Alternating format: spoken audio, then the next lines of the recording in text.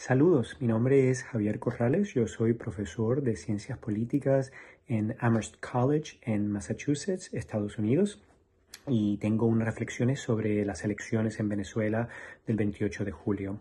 Estas elecciones van a ser las más importantes en el país en por lo menos ocho años, ya que existe la posibilidad de que haya un triunfo para la oposición.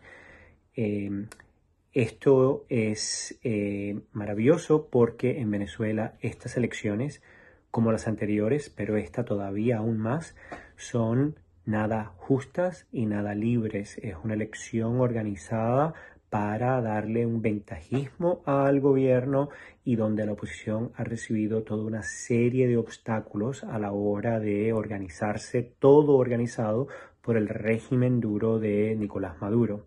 Así todo, hay una posibilidad de que triunfe la oposición. Por eso es importante. Sería la primera vez en muchos años que vemos un régimen autoritario ser eh, derrotado en las urnas.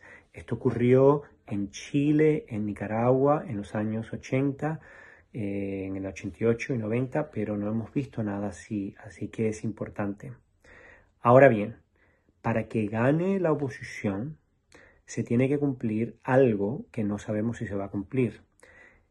Tiene que haber un nivel de participación por parte de la oposición de un 80%, más o menos. Esto es un número muy alto. Las encuestas en esta ocasión están diciendo que efectivamente un 80% de las personas que se declaran estar en la oposición y a favor del candidato de, principal de la oposición, Edmundo González, un 80% de estas personas van a ir a votar.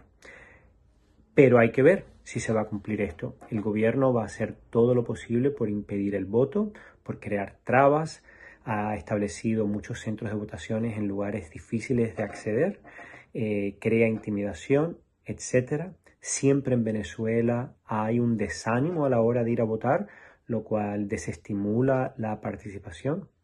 No obstante, se supone que este año haya un cambio cultural en la oposición, una efervescencia, un pensamiento en que la gente de la oposición está diciendo que esta vez sí el ir a votar no va a ser un desperdicio de tiempo y por lo tanto puede que haya mayor predisposición para votar.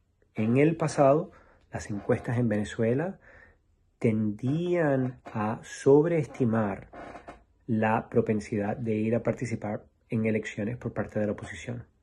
Puede que este año estén sobreestimándolo también, quién sabe, pero hay personas que dicen que puede que no, que efectivamente hay una alta disposición para ir a votar. Si la oposición termina votando en los números que las encuestas están diciendo que pueden terminar votando, vamos a ver un gran resultado electoral donde puede que salga la oposición triunfante. Muchas gracias.